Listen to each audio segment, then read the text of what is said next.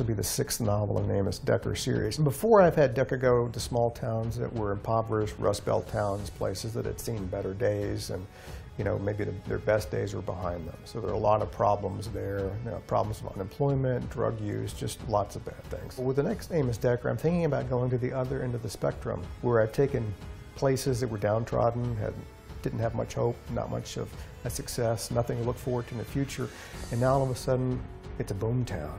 The money is back, people are flooding back in, everything is great. And right in the middle of that is going to be Amos Decker, and something really bad is going to happen. And now he has, he's living and working in a different place now that is not looking at despair, is not looking at, you know, my God, where is the future going to be? He's in the middle of a place that is having the best time of their lives, and still stuff goes bad.